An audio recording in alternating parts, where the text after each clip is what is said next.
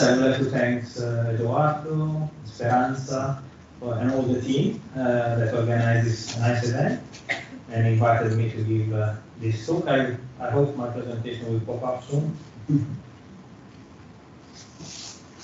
Okay, then we can start, and my Yeah. pleasure to announce Luca, it's the first talk about today about approaching 30 days of models for plastic release state of transport. And most of you will know Luca already, he's from Norway, and he's uh, from the uh, Research Institute for Water and Environment.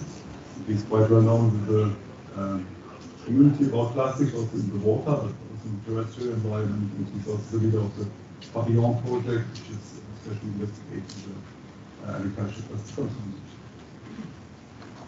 Yes, So, Um, still waiting for my presentation. Uh, someone should be. Uh, Philippe has just gone to, to start. Okay. Yeah. Yeah, maybe I can start. uh, So the talk I give today is about uh, addressing uncertainties on, uh, yeah, environmental fate models for microplastics in landscapes.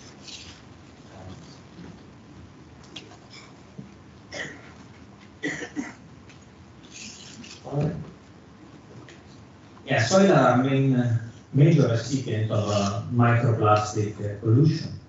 About six, between 64% and 90% of all plastic found in the ocean originates from uh, land-based sources. Uh, unfortunately, lots of knowledge gaps uh, affecting the understanding of how plastic move from soil to waters prevent an accurate assessment of exposure and eventually risk of both terrestrial and aquatic environment. To address this knowledge gap, fate models, mathematical models of the transport and behavior of plastic uh, are useful tools. They can be used to address scarcity of data, for example.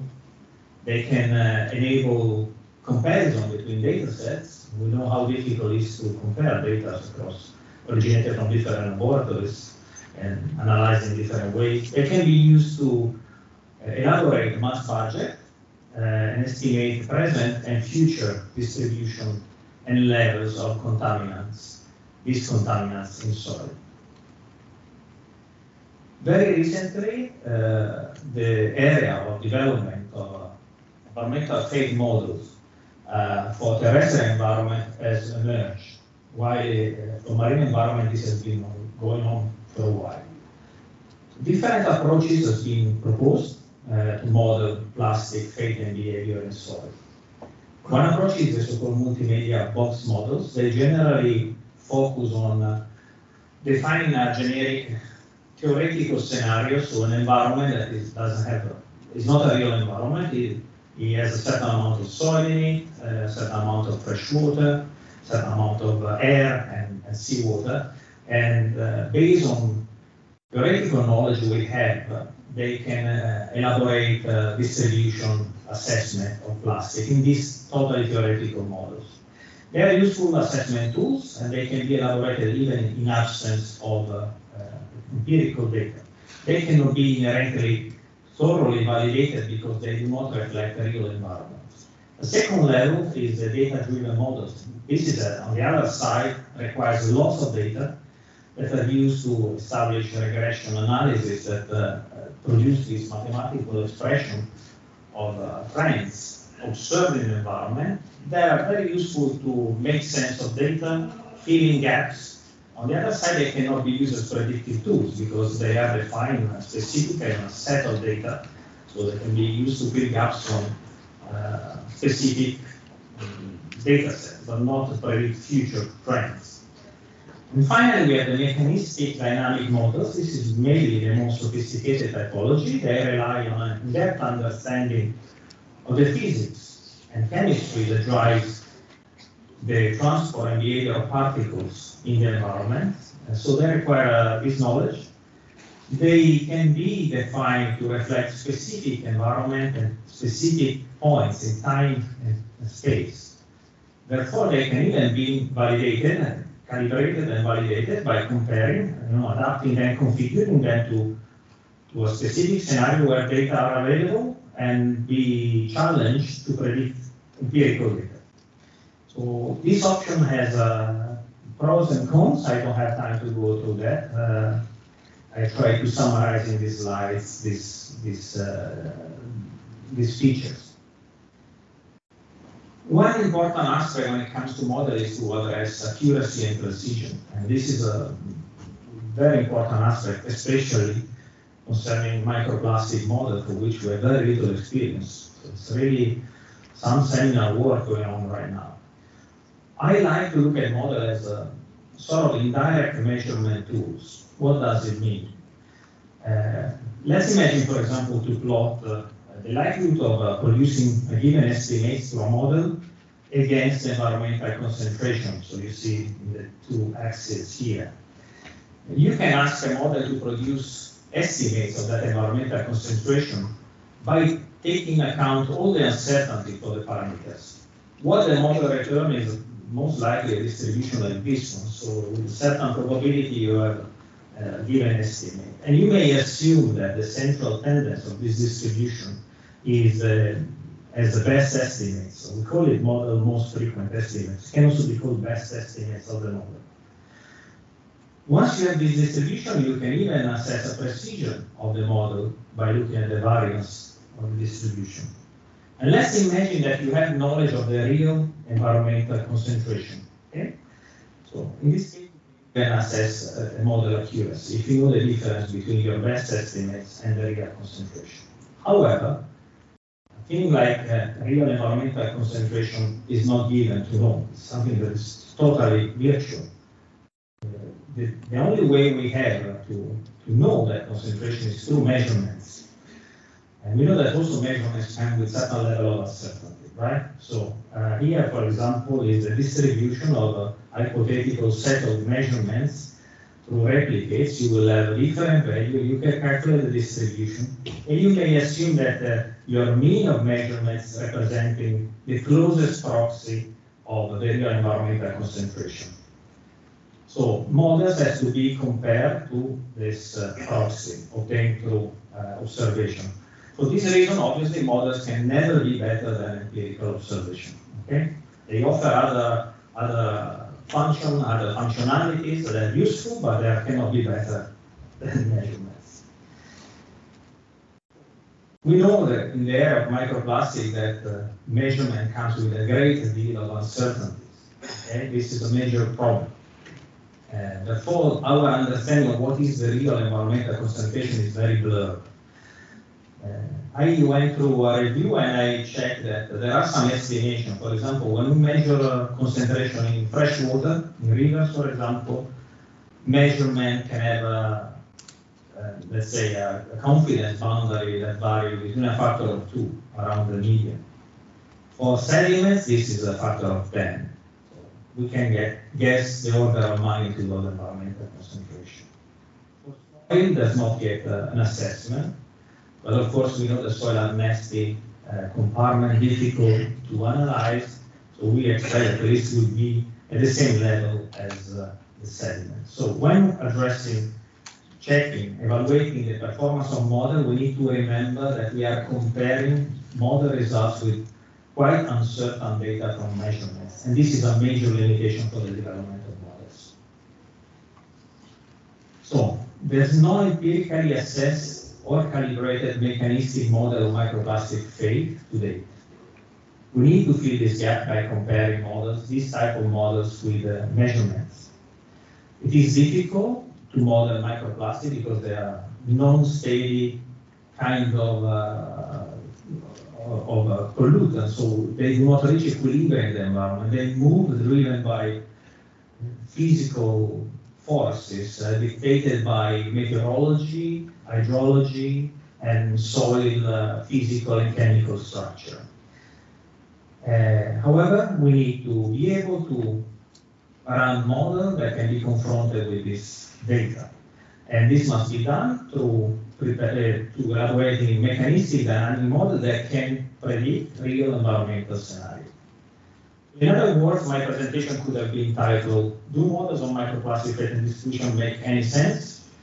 Let's see. We asked this question and we elaborated a mechanistic model called INCA-MP, Integrated Catchment Model of microplastic fate.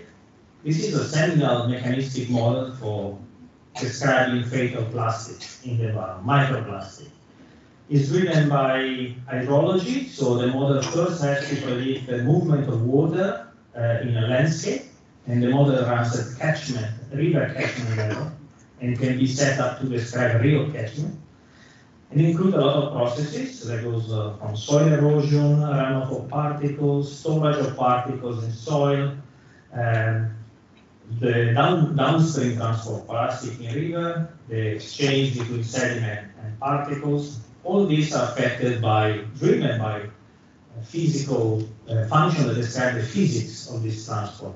And the parameter affecting this, uh, uh, this transport are size and density of particles, but also intensity of rain, geomorphology, etc. Uh, as inputs, we have uh, included uh, the addition of microplastic to soil through the sewage treatment, an additional source to the soil, which we call ambient, and is undefined, include atmospheric deposition or any other source originating from soil for which we have no knowledge, and we ask the model to guess the value of that source.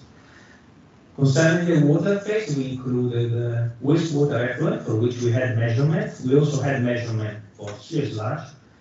And of course, river receive uh, plastic from the runoff calculated by, by the model, land, uh, runoff from land. A little bit of more detail, that's how the model basically works. The soil phase particles are present in two phases, what we call mobile phase and immobile phase driven by water movement, the particles can infiltrate and move from the mobile phase to the immobile phase. Um, erosion of soil through what we call splash detachment affect the remobilization from the immobile phase to the mobile phase, and the surface runoff drives particles towards the water to something called transport capacity, which is also a parameter. All these parameters, we ask the model to calibrate to provide the best possible estimates of environmental data, empirical data. In the water, we have a settling, which is calculated through physics by calculating buoyancy and terminal settling velocity and so on, which is a function of, of uh, water kinematic viscosity. We have entrainment, which is the erosion of sediment that brings particle, which is a function of stream power, uh, velocity. Yeah, I already mentioned the input, sewage sludge. We had measurements plus this ambient unknown source for the soil and wastewater effluent that are not from land, from the water. Some key assumption beyond this assumption about the inputs, we started the simulation, we ran the model between the period of 2012 and 2019, so several years of simulation for a specific site, I will tell you later which site. We included an initial amount of 200 tons of microplastic in soil, which coincided to 6 times 10 to the minus 5 percentage, percentage of microplastic in soil by mass, which is consistent with uh, what we know so far about the average concentration in soil measures mostly from Chinese studies. We assume that this land storage tend to increase over time. The, the mean annual concentration of plastic in soil tend to increase annually over time. And this is consistent with evidences from, for example, studies focusing on sludge application, repeated sewage sludge application that shows increasing concentration. We run simulation, bulk simulation for two categories of particles, fragments and fibers. The model can detail uh, a lot of processes. It can detail uh, simulation for classes of particles in size classes and, and, density classes, but the data we had was not sufficiently dense to, to break it down in higher level of detail. Also, the model account for processes such as heteroaggregation, fragmentation, biofilm formation, but again, the data we had was the evidence we had that we could compare the model with was not sufficient to get into this level of detail. So we bulk particles only in two classes, fragment and fibers. This is the model scenario is the Henares River catchment in Spain, flowing close to Madrid, for which we had a measurement of uh, microplastic fragments and fibers in three points. We have here, this is the pointer. Three, this is the big catchment. We have a small sub-catchment here, another small sub-catchment. This is mostly forested. This is a small agricultural subcatchment. This is the big, the big Henares. So Sorbe, Badiel, and Henares. Uh, we had uh, this concentration in three points at the, at the end of each sub-catchment in water and sediment concentration collected three times in, in time, different times during the year. Uh, we also have data of sewage sludge application, we have measurements of microplastic in sewage sludge, dead sewage sludge. We have measured several wastewater effluent in this region, so this is the input, and of course we have meteorological and hydrological data. So the first step to set up model running is to make sense of this information we have about inputs. Okay, as I said, when you measure sewage sludge or wastewater effluent, you get a great deal of variability in your measurements. These measurements uh, results are uh, depicted by the red dots along along the axis, right? Um, so we asked the model to take account of all these variabilities. So the first thing we did was to create uh, distributions that the model could use to randomly extract estimated values of those concentrations to define the inputs of plastic to the landscape. Okay? So and then we ran the model thousands of times with randomly extracted value of those inputs from those distributions. This is the way we objectively accounted for the variability. And we let the model running and calibrating itself in a fully automatic mode so that we reduce as much as possible arbitrarity about this study. I want to put your attention on this one. This is the ambient concentration. We do not have measurements. So for this, we have to create a prior. So we couldn't assume any value to be more likely than any other value. So distribution here used by the model is homogeneous. We set up the hydrology. So as I said, we need to make the model uh, working well in predicting hydrological fluxes, and we achieved that. Maybe the model is missing some of the peaks here, but uh, it's getting very, doing a very good job uh, most of the time. Uh, unfortunately, one of the three catchments, sub-catchment, the body of the small agricultural one was not performing very well. Uh, so this is given by the Nash Sutcliffe coefficient. So we were not able to predict uh, the water flows, and that would be a major confounding factor. So we decided to exclude that from the evaluation data set. We focus on the big catchment, the Henares, and the Sorbe. How did the model work in the calibration? We asked the model to identify the values of the parameter that produce the best estimates of empirical data of uh, fragments. We focus on fragments for the calibration in this uh, in the in these two catchment, left catchment. And the model does a pretty good job. All the predictions are presented with their confidence boundaries, uh, interquartile, median, and 95% quantiles.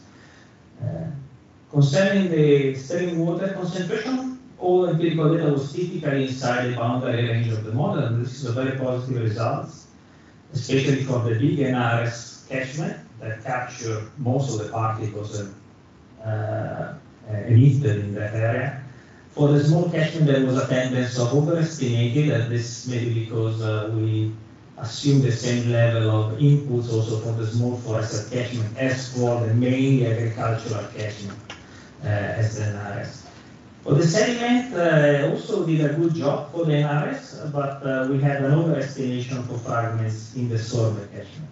In any case, however, error factor are below 2 for water concentration and below factor of 8 for sediment concentration, which is in the same range as uh, uncertainty for the measurement. So altogether, this was a positive result. Next, we have now a validated model, and we wanted to challenge this validated, calibrated model, sorry, to predict the concentration of fibers. So an external data set. We put, uh, made the right changes in the parameters to define the information about fibers that has this elongated form, that the shape is one of the factors that affect entrain making, water, and so on.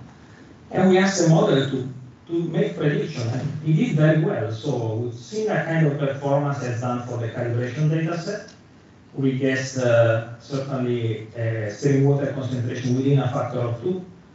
Sediment concentration little bit worse within the order of magnitude, but we know that those measurements are also adding certain. And we also had that this very nasty outlier here was also an outlier for the measurement. Fortunately, the model didn't waste so much data and keep focus on predicting reasonable, reasonable concentrations. So once we have the calibrated model, we have a predictive tool, it's validated for do prediction. We use the model to assess the mass budgets and the flows of, of particles in this catchment. So we can calculate the total input from land to the river uh, by year, here on the left side of your screen. Uh, you can see that in average this catchment, uh, the soil deliver about 2.5 tons per year of microplastic to the river. Uh, while the input from wastewater, we want to compare this runoff to the wastewater. The input is very skewed, but about half a ton per year seems to come in average from wastewater. So land uh, runoff is very important. We also look at the time evolution of the land storage of plastic, and you can see the model, of course, predict an increase in the concentration of plastic in so the, the storage, so the total bulk plastic this is the storage for soil and sediments together that reflects the dynamics of uh, releases when you have high flow events, like uh, we have a high stream power, a lot of the particles are suddenly washed away from the sediment. And this is the yearly aggregated figure for the catchment uh, release of plastic at the, at the mouth of the river. So you can see that we are releasing a few tons every year in average from, from the river. Okay, at this point we had a question, which might be interesting also for people that are not familiar with models. So can we define a parameter that tell us what is the, how many, okay, how much of the particles added to a given landscape stay in the landscape over the long time, and how much is released? We call this index uh, retention efficiency, and it's calculated based on aggregating fluxes over multiple years and calculating and, and, creating a ratio. So this is expressed in percentage. This figure is again a probability distribution tell us that about between 20 and 50 percent. So here, between 20 and 50 percent of the particles added over the multiple years to the catchment tend to remain in the catchment. So there is a, a big release of particles most of particles are washed downstream, but there is also a bigger tension. We have then uh, made this static mass balance that shows uh, the components. Surprisingly, as I mentioned, the unknown sources, this part to the soil, are bigger than the known sources. This is the sewage sludge. We believe the sewage sludge will be a major source, but what the model says is that we have very little knowledge of what are the important sources here we are missing. In order to justify the concentration in river and sediment, you need to have much more plastic added to soil, and we do not know where the particles come from. The soil reservoir, of course, is bigger compared to the to the sediment reservoir, and we broke down fluxes in this way. And this was my last slide, so thank you very much. I, as a conclusion, the model, this model did a good job, so this tells us that the models can be useful. We need a lot of developments. We need to get into the detail of processes. To do that, we need uh, more advanced data set. Uh, this, this is necessary, more data. Model totally rely on availability of good data, including this model, of course.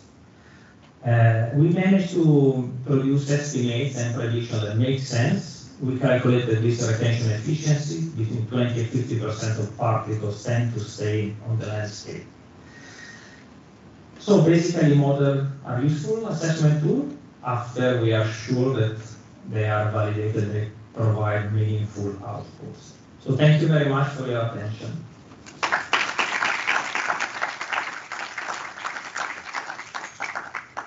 Thank you very much, Luca. I think we have time for questions. So question? then maybe I start. So what what I estimate, so you said that uh, the sewage sludge, you assumed that it's a big source, but it was not. Can you see what are the big sources in the in the catchment from the model, or is it And the model has uh, for this generic source we call ambient, which uh, should include everything that is not sewage sludge. We believe that atmospheric deposition are an important component, and we have, uh, when defining the trigger, so what is the expected range of this ambient, we take, took into consideration available knowledge of atmospheric deposition from different areas. And certainly atmospheric deposition are more important than what we believed before. The sewage sludge is very rich in particles, but uh, it's a minimal amount of soil territory, so and it's only one year. Uh, after different location. Agricultural plastic, we had no clue what is the component. There is a lot of use of mulching in that area, so litter uh, and so on. We know some other sources like car, um, car debris are important, but the model didn't account because we didn't include in the empirical data set. So that is a separate thing. Not a, are not included in those unknown sources. But certainly we need to be more into assessing sources. I think this is in my opinion, at this point, there is a major gap. Is the main, most important lesson I learned from the model. That's the question. Is the microphone coming?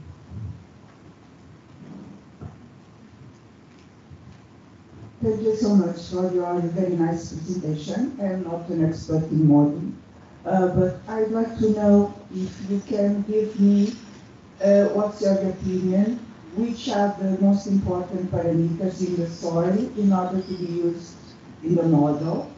Um, uh, for instance, do you think that uh, the aggregates are important, are important parameters to introduce in the model? You. Yeah, thank you. This is a very important question.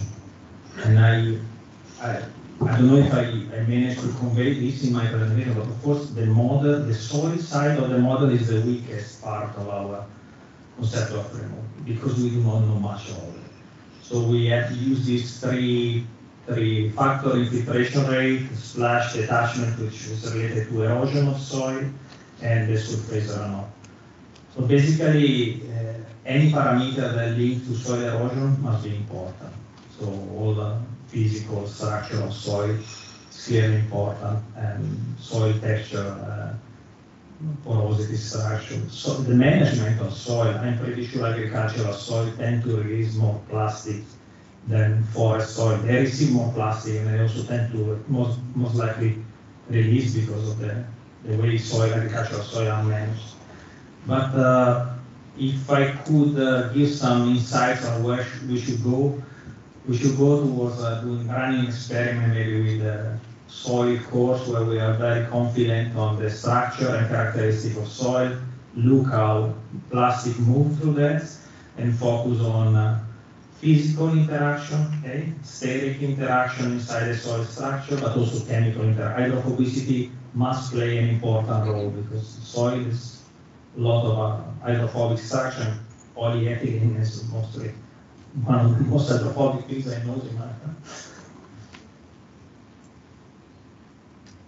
Another question? Yeah.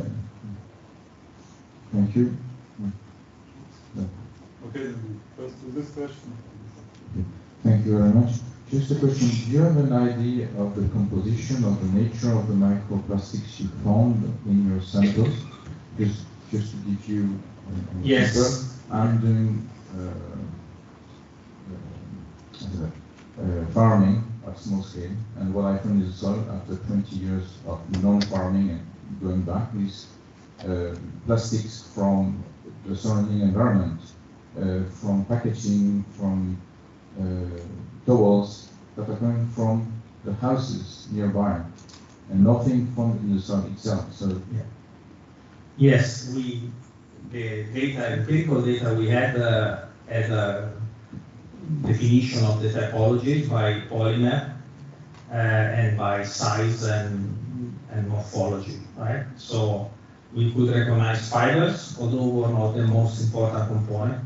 What we call fragments are basically everything that cannot be classified as fibers, so the variety of uh, morphologies. Most important polymer polyethylene and polypropylene, which is normal.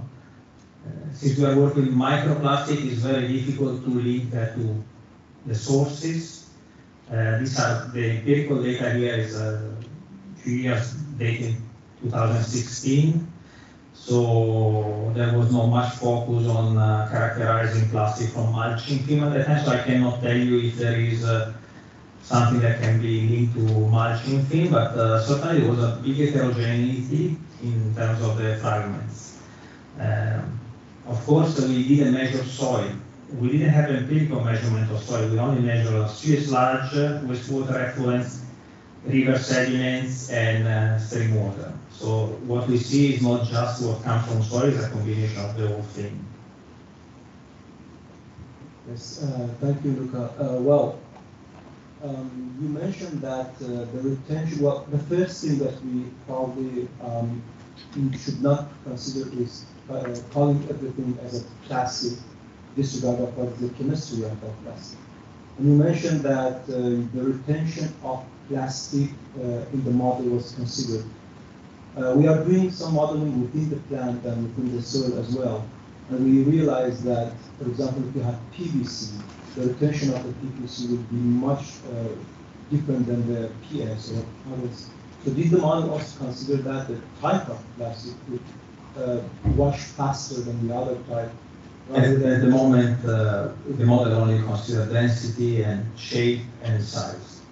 Uh, we do not have any equation dealing with uh, the chemistry of particles uh, and the kind of interaction they can have with the soil, for example, components. This is the next level. But for this, we need this uh, focus studies, a look at the behavior in soil and control environment. That's very important. So you are, uh, the next uh, step for your model, right? Yeah, as soon as we have the data. Yes. One more question in the back.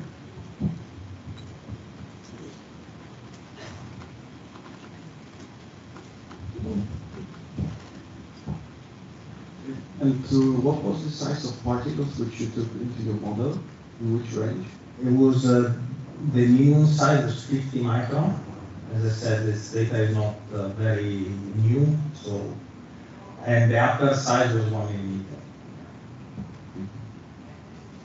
Of course, most of the particles in number was in the smaller scale because of distribution.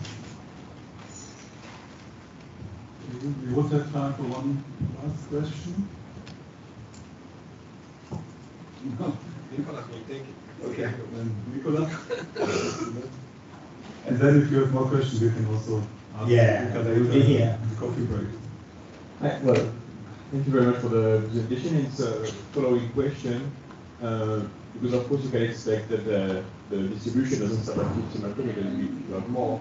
But do you include that in the model at the moment to kind of extend the distribution of the measure or maybe include it? Yeah, the model uh, can potentially do much more. We need to constrain to reduce the, the, the level of detail to fit with the data we get, but the model does uh, uh, arbitrarily small particles. Of course, when you get in the nanoscale, the physics exchange, but uh, let's say in the range of microplastic should work, should. Okay? And um, also all the other processes, heteroaggregation, fragmentation, changes in density due to biofouling are present in the model, but we could not really, for this kind of assessment, uh, calibration and validation, we didn't have the right data to, to use them. So we use the model in a very know, impressionistic way. You reduce detail and you leave the, that's how the, the model exercise requires this level of simplification. But the model is totally flexible. And I forget to say that the model is available to everyone. There is, um, GitHub, I can share, uh, I, I forgot to put a link to that, but I can share the information so you can assess the model. The model uh, developed by Magnus Norling includes also a dedicated programming area that helps uh, environmental scientists to put their hands directly on the model without having to know a lot of com computer science. We also have a graphical interface. You can run the model by clicking and putting changing parameters. There is also a demo version available on our website, uh, ecap.org. Uh, you can play with that. Um, yeah, I hope I'm trying to publish this. As soon as it will be published, we'll, you will have all these names. Okay, thank you. Luca again.